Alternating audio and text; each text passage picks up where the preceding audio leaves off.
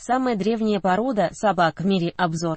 Собаки сопровождают человека несколько тысячелетий, считаются самыми древними из домашних животных. Они использовались для охраны скота и жилища, в военных действиях принимали участие в кровопролитных боях.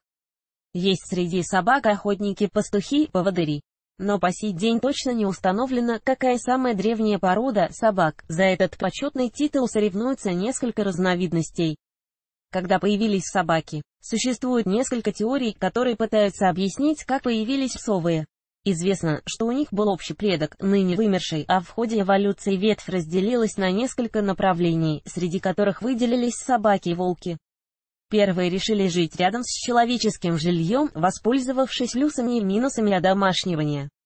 Очаровательные львята, представители породы Ши-ТЦУ, считаются одной из самых старых пород в мире к сведению. Постепенно естественный отбор позволил появиться огромному количеству различных пород, среди которых есть большие, средние и мелкие. Существует и полифилетическая гипотеза, согласно которой у различных пород были разные предки. Точное время появления псов неизвестно, ученые полагают, что одомашнивание началось в период раннего каменного века, следовательно, появление еще раньше. Описание 14 самых древних пород собак. На данный момент невозможно точно ответить на вопрос, какая именно порода появилась раньше других, вполне возможно, что до сегодняшних. Ни она не дошла даже в измененном виде. Однако наскальные рисунки и особенности культуры аборигенных народов помогают определить, какие древние собаки составляли человеку компанию в прошлой эпохе. Ксолоидскуинтли самая первая собака в мире, как полагают многие исследователи, это мексиканская голая собака или Ксолоидсуинтли ксола. Она была компаньоном и верным помощником индейцам племени майя, почиталась ими как священное животное. Однако в голодные времена эти псы вполне могли пойти в пищу. Собаки родом из Мексики любимы во всем мире, но особой популярностью не пользуются, порода относится к редким. Обратите внимание, отсутствие шерсти делает ксолоид цуинтли отличным питомцем для аллергиков, однако содержать голову пса в условиях России непросто. Важно защищать питомца от сквозняков. Салюки, эти элегантные животные относятся к одной из самых древних пород собак. Салюки, как и некоторые другие борзы, признаются мусульманами, в то время как прочие псы, включая бульдогов, йоркширских терьеров, и тайских риджбеков, в исламе считаются нечистыми. В арабских странах породистая салюки может стоить дороже, чем горделивый скакун. Самоедская лайка история этих собак началась на севере примерно в 11. Самоеды составляли компанию кочевым племенам, помогали на охоте. Относятся к группе шпицев, белоснежный пышный мех с густым подшерстком и хвост кольцом, главное украшение этих животных. Бассенджи – удивительное животное, которое никогда не лает, это собака Бассенджи. Раскопки на египетской земле помогли обнаружить несколько мумий псов, относящихся к данной породе. Это свидетельство того, что животные пользовались любовью еще во времена фараонов. К сведению, легенда гласит, что возможность продавать голос Бассенджи утратили, чтобы сохранить навсегда тайну. Акитейну – это одна из самых старых пород собак, родиной которых является Япония. Отличается добродушным нравом, хотя очень упрямо и своенравно. Хатика, герой одноименной ленты, пес, ставший олицетворением собачьей преданности, это именно Акитейну. Обратите внимание, густая шерсть под шерстком нуждается в регулярном вычесывании. Акитуину – японская старинная порода, которая постепенно начала завоевывать мир аляскинский маламут, несмотря на то, что аляскинских Маламутов можно назвать старшими братьями многих более молодых пород официальное признание в международных кинологических ассоциациях. Они получили только в 1935 году.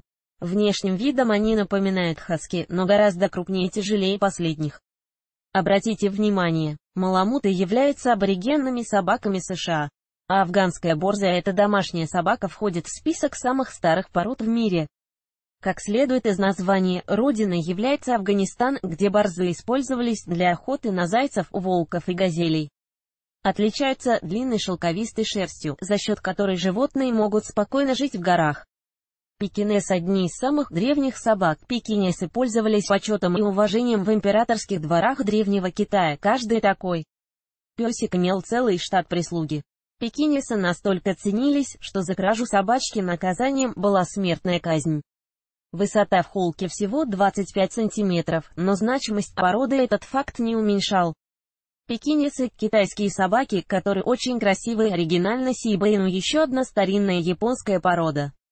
У Сибэйну развиты охотничьи инстинкты, поэтому гулять с таким питомцем можно только на поводке, так как в вагоне за потенциальной.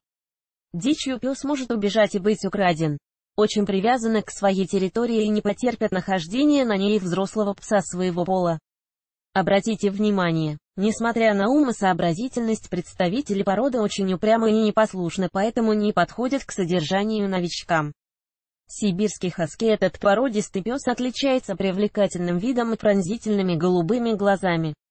Несмотря на очарование, хаски перестали пользоваться любовью собаководов из-за своего упрямства и нежелания слушаться.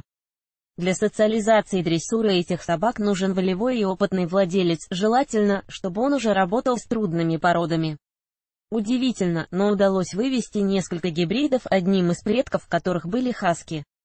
Тибетский терьер этот небольших размеров песик родом из Тибета, работал при храмах Варе с гигантским тибетским мастифом. Увидев недоброжелателя, крошка-терьер подавал голос, призывая крупного мастифа, который одним своим грозным видом заставлял воров пожалеть о своих недобрых намерениях. Чао-чао легенда гласит, что однажды собака этой древней породы лизнула небо, отчего и приобрела свой удивительный язык. Особо покладистым нравом Чао-Чао не отличается, но внешний вид и сходство с медвежонком делают эту собаку весьма популярной во всем мире. Одна из самых красивых собак, Чао-Чао, также считается старейшей шарпе перевод названия породы кожи из песка. Анализ ДНК показал, что возраст представителей породы около 3000. Лед родиной является Южный Китай. Изначально вывозить животных за границы страны было запрещено, они выполняли функции сторожей. К сведению, смена власти стала причиной того, что собак посчитали признаком роскоши и подвергли массовому уничтожению. Сейчас шарпеи внесены в Красную книгу. Шита-цеу – это небольшие собаки-компаньоны с длинной шелковистой шерстью. В переводе название означает «львенок». Своим внешним видом они напоминают снежного льва, один из символов буддизма. Анализ ДНК – кластер самых ранних пород. Современная наука дает возможность получить полезные сведения касаемо того, какую породу собак в мире можно считать самой первой. В частности, используется анализ генетического материала.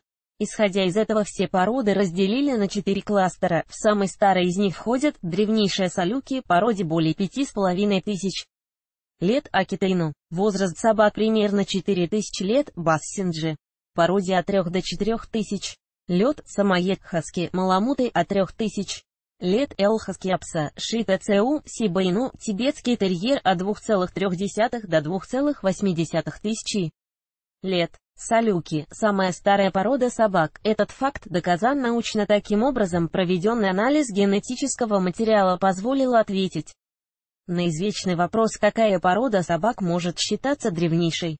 Это салюки, но это отменяет тот факт, что она чем-то хуже или лучше других разновидностей.